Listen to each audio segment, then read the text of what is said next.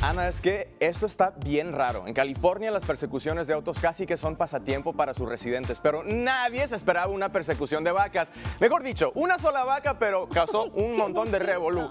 No se explican cómo logró escaparse. Primero trataron de agarrar, eh, eh, agarrar la vaca en este estacionamiento y fue imposible. Y luego corrió libre por la autopista 210 hasta llegar a un rancho donde la atraparon. Pero antes dio su buena pelea. Yo aquí creo que estoy con mi, mi amiga eh, Andrea en decir que me hubiera gustado que se escapara la vaca y sería una, una, una vaca ahí libre que no nos la vamos a comer. Ay, no me, no, me, no me rompas el corazón, por favor. Ay, a mí sí me gusta un buen steak. A mí, también a mí también de O vez sea, en cuando. hay que y mañana honestos. pagan, entonces probablemente me voy a poder comprar uno.